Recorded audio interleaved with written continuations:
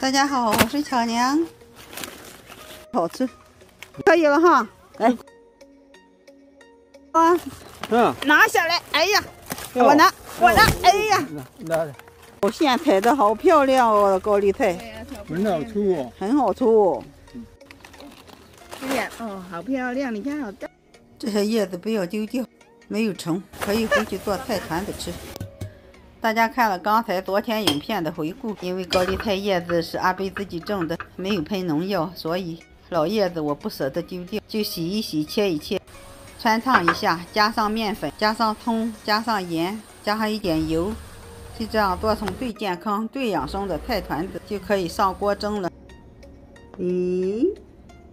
干嘛烫里面去啊？好了好了，在里边吧，盖着吧，你看在里在里边吧。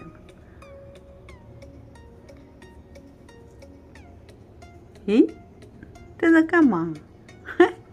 好了好了好了，在里边吧。菜团子一共蒸二十分钟，这些我没有加粗粮，只加了中筋面粉，这样吃最健康、最养生。不管你便秘有多厉害，每天早餐吃两颗，保证顺畅。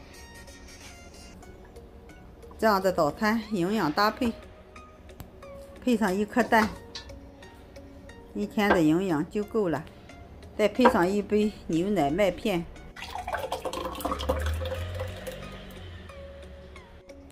最近因为很多朋友说便秘真的没办法，配上一点自己腌的萝卜干，这些是冬笋，竹笋本身纤维就很多，会有帮助排便的作用，所以这样吃，特别是像奶奶这样的长辈，